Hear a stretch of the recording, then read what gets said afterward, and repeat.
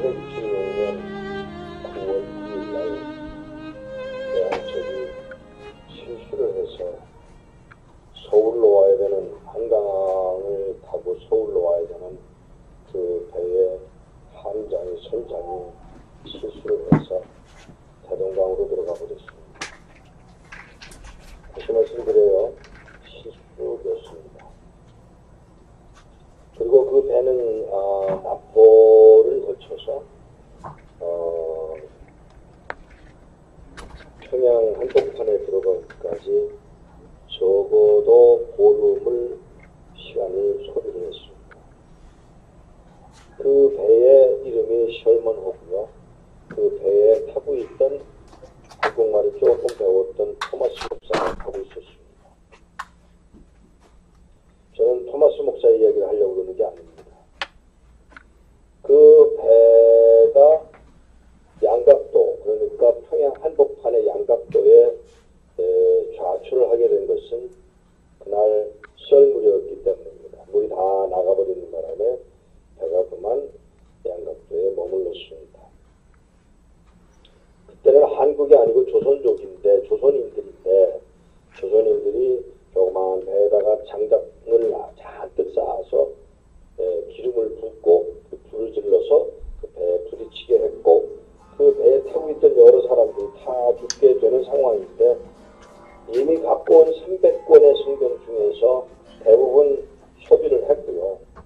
나머지 몇 권 남은 성경을 가지고 오물한 아니요 토마스 목사가 내려와서 사람들에게 던져주고자 했습니다.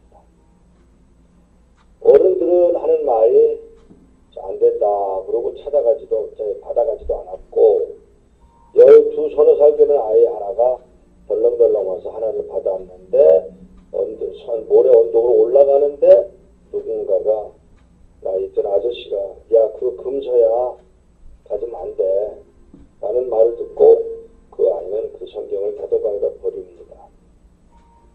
두 번째 아이는 성경을 두 번을 받아가지고 그걸 들고 여기저기로 다니면서 선생님한 서당 선생님한테 갖다 주었더니 안 된다는 것입니다. 너 그거 큰일 난다 하는 말을 듣고 그 성경을 하나는 길거리에 하나는 강에다가 버렸습니다. 세 번째 아이가 성경을 또 받았는데 이 아이가 성경을 하나 받으면서 하나 더 주세요. 하나 더 주세요. 하나 더 주세요 해서 세 번을 받았습니다. 12살 난 최치량이라는 아이였습니다. 최치량이라는 아이가 그세 권을 받아가지고 올라올 때 똑같은 말을 들었습니다. 금서야 임마 너 그거 가지고 있다 큰일 난다 하는 말을 듣고 이 아이가 강에다 갖다 버리는 대신에 에이 죄송합니다 에이 그러고선 하는 말이 나 한테 한번 만나면 군밥 주고 발표지라고 욕하는 그 새끼한테 나 갖다 주자 마음이 나빠요 그 자식한테 나 갖다 주자 아이들이 뭐 말은 안 하지만 엄마가 속을 새기면 엄마가 마음에 안 들면 뒤돌아서 그냥 그냥 해요. 아버지가 속을 새기면 아버지 그 새끼 그 새끼예요. 뭐 별하별 욕을 다 합니다. 여러분은 안 하나요? 나는 절대로 그런 일 없다는 사람 손 들어보세요. 그 봐 여기 저 젊은이들이 많은데 이 중고등학생들도 있는 것 같은데 이 아이들이 손을 안 들잖아요. 그러니까 여러분이 쏟고 있는 거예요 지금. 부모들이 쏟고 있는 거예요. 지금 아이들은 웃어. 아유 저걸 어떻게 알지? 왜? 나도 그 과정을 겪었거든. 근데 이 아이가 이걸 이 책을 이책 않은 이 넓적한 중국어 성경을 세 권을 들고 끙끙거리고 걸어간 곳이 자기 먼 아저씨 집이에요. 제가 일부러 그 현장에서 그 자리까지 일부러 가봤어요. 얼마나 걸리겠나.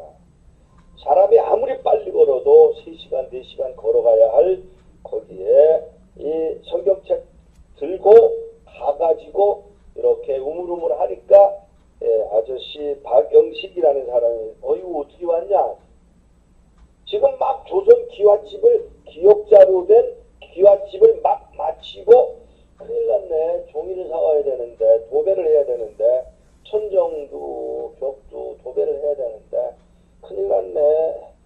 그러고 있던 차에 이 조카, 먼 친척 조카인 최치량이가 이 책을 보여주면서 이거 어때? 하고 내놓으니까 이거 뭐니? 몰라 저기 저 저기 양각도에 배에 저 배가 타 버렸는데 거기 타 버리는 배에 있던 코쟁이가 코쟁이 코큰 코쟁이가 던져 버린 걸 내가 받아 갖고 왔어. 이렇게 보니까 종이가 좋거든요. 그거 놔줘. 그래서 그걸 세 권을 뜯어가지고 다 천정하고 벽에다가 도배를 해버렸어. 이 젊은 학생들은 도배라는 말을 아나 모르겠다. 알아요? 알아요? 오. 근데 표정이 그래. 참, 이 교회 목사님 목표하기 참 힘들겠어. 표정을 읽을 방법이 없어. 여러분 얼굴을 보면. 이게 알아들은 건지, 못 알아들은 건지, 아니면 저 무슨 소리 하는 거야 하는 얼굴에 그래도 눈이 움직이든지, 뭐 어떻게 해야 되는데, 어떻게 훈련 받았는지 자관 가만히 있는 얼굴들. 꼭 중국 사람들 같아. 여러분, 이제 지방으로 이렇게 설교를 하러 다니면 재미난 일을 발견하는데요. 교단이 다르고요. 이 강남이 다르고요. 강서가 다르고요. 강북이 달라요. 그리고 지방으로 내려가면 제일 반응이 안 보이는 데가 어딘지 혹시 아세요? 예? 충청도요? 아니요. 예? 강원도? 강원도가 좀 그런 경향이 있죠. 더 지나친 데가 있어요. 제주도. 사흘 후에 연락이 와요. 근데 그보다 더 지나친 사람들이 있어요. 중국. 신학생들을 놓고 강의를 열심히 그냥 짜가면서 설교를 다 하고 보냈는데 반응이 전혀 없어요. 그 제가 신학교를 뒤에서 돕기는 형편이라서 가끔 강의를 하게, 하, 게 되는데 강의, 강의가 끝났는데 너무 반응이 없으니까 야 왜요? 나에게 다시 안 올랜다. 왜요? 이렇게 반응이 없는데 무슨 재미로 설교를 하냐 그랬더니 아니에요. 가는 길에 기차 안에서 울었대요. 이게 중국 사람들이에요. 근데 여러분이 그 수준인 것 같아. 집에 가면서 아니면은 나중에 또 한 몇 달 후에 연락이 올라나?